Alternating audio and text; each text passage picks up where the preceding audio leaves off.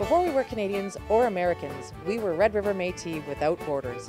And that's why it's important we come down here to Fargo, North Dakota to talk to our cousins about our modern day treaty.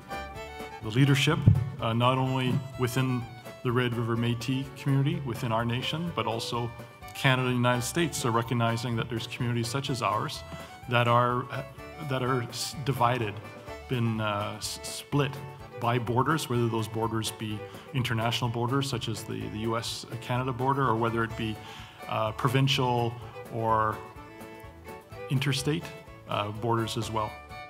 It's important for us to be here to see the people uh, who are still uh, part of our nation. Um, and there's a lot of people here who are connected to us. And uh, to be able to uh, tell them that they're welcome to be home, uh, welcome to be a part of our nation, welcome to be a part of our government, but also uh, with this initiative to see the great strides that and what this treaty symbolizes, which is um, really a new era that we're walking into here. We prevailed in the context of ensuring that our Métis uh, citizens, no matter where they live, still have the rights protection of Section 35 of our Constitution, which really uh, sets the parameters of Indigenous rights in this country, in Canada. So that is something you still have and still own. Although you're an American citizen, uh, you come to our, our, our homeland, you're part of our family. It really promotes being inclusive. It's not just one smaller group, but yet we're part of a bigger group beyond borders. Um, it makes me feel like I have ownership in it. To be invited to a meeting is huge. And it's very important for not only for me and my generation, but for my kids and their generation so that they learn that they're still a part of something too. Down in North Dakota, some of the, I, I believe there's some of the uh, best Michif speakers are still here uh, in this area. Uh, they still play the fiddle, they still dance the jig.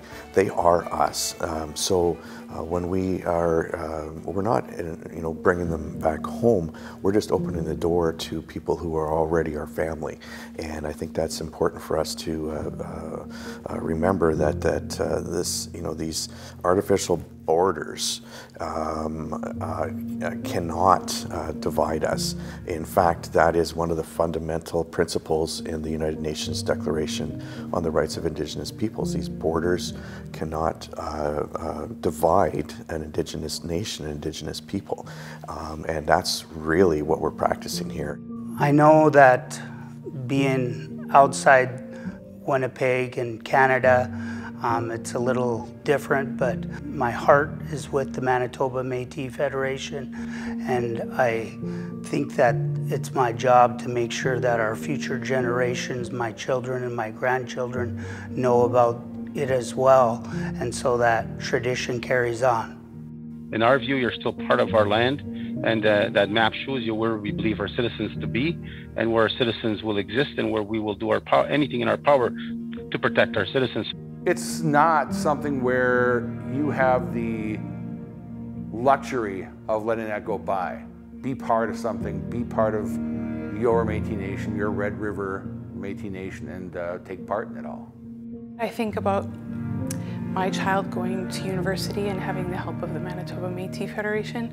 I feel like that makes my ancestors smile because he will contribute positively.